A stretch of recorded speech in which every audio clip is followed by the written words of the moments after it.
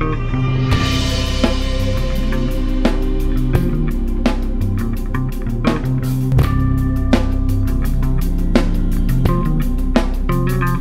ever walk a mile with a man? Got these sticks in our hands, moving over broken land, across the deserts in the sand wasteland. To understand the command and the difference of the body, mind, flesh, soul, spirit. Now tell me if you hear it, and you can tell me if you fear it.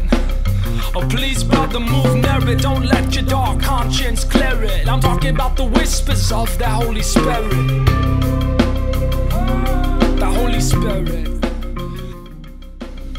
Have mercy on me. Cause I believe He's the one, the Son, who come to set us free.